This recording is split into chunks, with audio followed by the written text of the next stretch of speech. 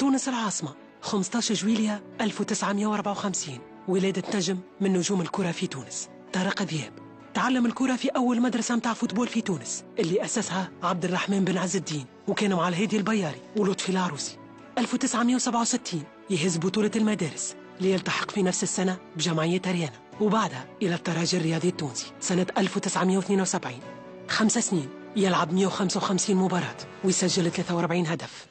1978 يمشي الأهلي جدة يلعب زوز مواسم ويتحصل في السعودية على الكرة الذهبية. وكأس الملك 1979 ليعود بعد ذلك للترجي الرياضي سنة 1980 عشر سنوات يلعب فيهم 272 مباراة مع 84 هدف. أرقام لم يقع تحطيمها إلى الآن.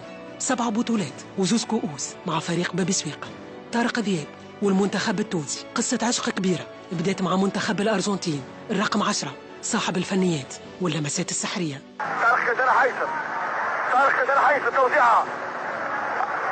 يقلب قلبه بالعزيزة.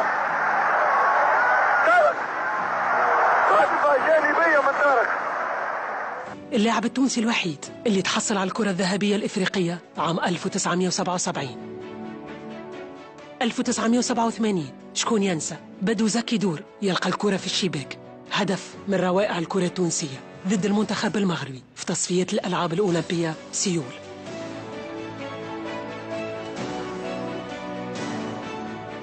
آخر مباراة دولية لي في تونس كانت ضد المنتخب الإنجليزي 1990 وبعد الاعتزال طارق ذياب يشارك مع الترجي الرياضي في مباراة ودية ضد يوفنتوس 1992 استعراض كروي من لاعب القرن طارق ذياب اتقلت عديد المناصب منها نائب رئيس الترجي الرياضي 2008 وفي نفس السنة يتوج الترجي بكاس تونس. وطارق ذياب في لقطة فاجأت التوانسة الكل. ما يسلمش على وزير الشباب والرياضة عبد الله الكعبي. إمبراطور الكرة في تونس تعرف بجرأته الكبيرة. وكان في جدال دائم مع الجامعة التونسية لكرة القدم.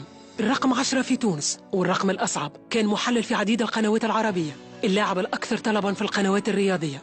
ديسمبر 2011 يتعين وزير للشباب والرياضة. فترة ما دامتش برشا ليعاود الالتحاق بقنوات البين سبورت الرياضية. طارق ذياب محبوب الجماهير التونسية لاعب القرن وعملاق من عمالقة الكرة.